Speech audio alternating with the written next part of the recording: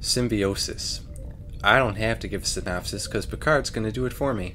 The sun in the Delos system is undergoing large-scale magnetic field changes, producing violent, gigantic flares. Now, we shall... We're studying this star uh, at close range, even though we shall be running with full deflectors. The closeness of this event and its severity will create problems. Intense magnetic fields have a disruptive effect on electrical systems. Therefore, we can expect communication interruptions as well as potential temporary loss of other systems. As a precaution, we are now going to yellow rest. Stay sharp, everyone. It's odd how he spits out so much exposition right away. I would say this is sort of a clumsily written episode in general. So the Enterprise is going out to look at a star, right? So they're getting real close. Wesley overreacts, of course, when he goes. I know it's not going to be the focus of the episode, but even that premise was not exciting. And it doesn't make a lot of sense for them to send a manned vehicle that close. They could easily use an unmanned vehicle. And the distress it causes to the shield, and everyone's getting all tense. It's artificial tension in terms of writing. So while they're doing this, they receive a distress signal from a freighter. He doesn't seem to understand the situation that he's in, or even how his own ship works. The Enterprise crew getting so annoyed at him was a little over the top. Maybe it's because they know what's coming up in the rest of this episode. We're going to lock on the tractor beam and pull you out of orbit. Hey, that, that's great. So they're to get the crew off and they get them all set up, but the crew beams over their cargo instead and they try and beam them over again. So they pull over four people. Two are from Brekka and two are from Ornara, but they both possess some sort of electro power. Yeah, it made me think of King Kong and King Kong versus Godzilla.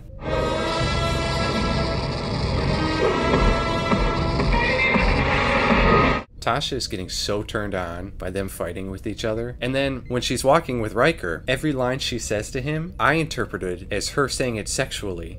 I wonder how it evolved. I wonder how much power our guest can produce. It's an interesting ability. The question is, how do I defend against it? Do You think our visitors pose a threat? I don't know. But if they do, I'd better be ready for it.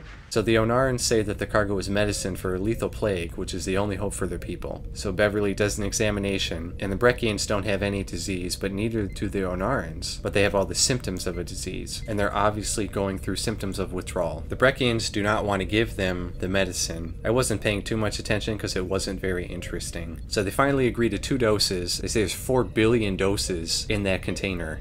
So, in case you haven't been paying attention, Beverly comes right out and says the core message of this whole episode, right to your face. She definitely plays a larger role than she usually does. And everyone on their world. is a drug addict.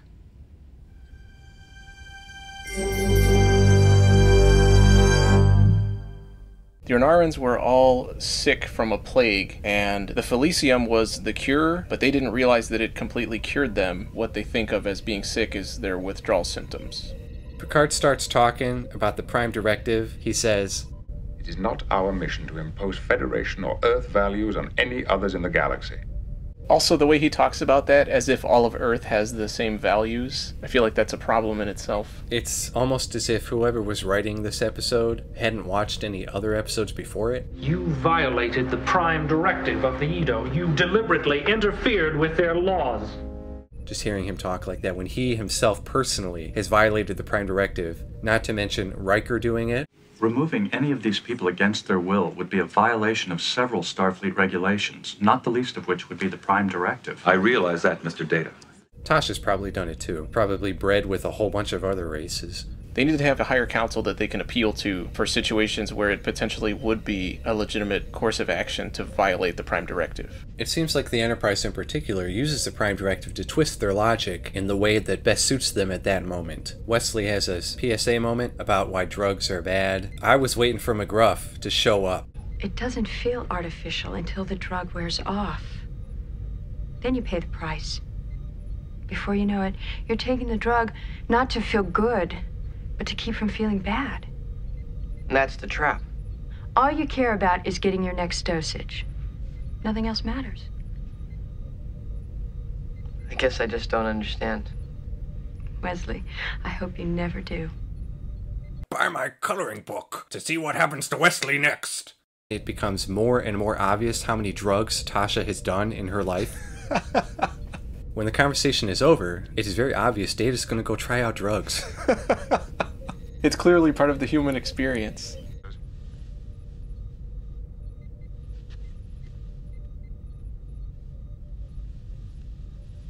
so one of the Ornarans says, Give us a shuttle. and he grabs him and does his electro power. Riker's facial expression's pretty good. So the Breckons reveal that they know they're causing the Ornarans to remain addicted, and they don't want to not give them the drugs because then it'll break their dependency. And that drug is the only thing they manufacture on their planet. That's what their entire economy is based on. The Ornarans say they only have three ships to go between the two planets. The amount of food, the amount of clothing, the amount of basic necessities would fill up more than three ships. The relationship between the Ornarans and the Breckons reminds me again of the Eloi and the Morlocks in the Time Machine, where the Morlocks provide everything that the Eloi need to survive, but at the same time they eat the Eloi.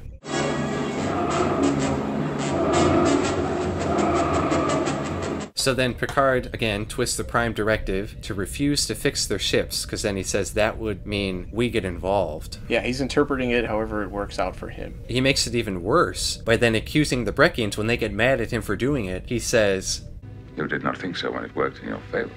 He willfully and consistently uses the Prime Directive to his own ends. They send the Ornarans back and force them to go through withdrawal, and Picard acts all magnanimous about it. I like how the ending is ambiguous as to whether things are actually going to work out or not. So after Picard's whole Prime Directive bullshit, he just hammers that point home again. Beverly, the Prime Directive is not just a set of rules.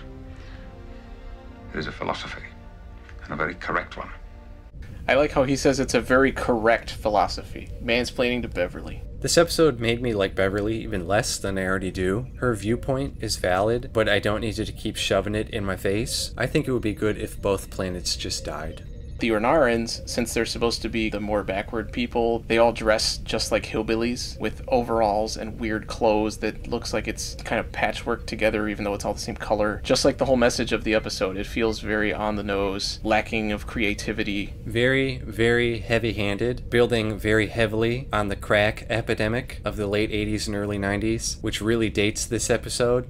I would give this episode a D plus. A potentially interesting moral conflict at the center of the story, but everything is so simplistic. None of the characters are likable at all. The whole situation is uninteresting. A very bland and forgettable episode. I would give this one a straight D. It's too simple. It's tied to the issues and society of the time. It really dates the episode. It's a drug episode. I might as well admit I did a bunch of crack to get ready for this episode.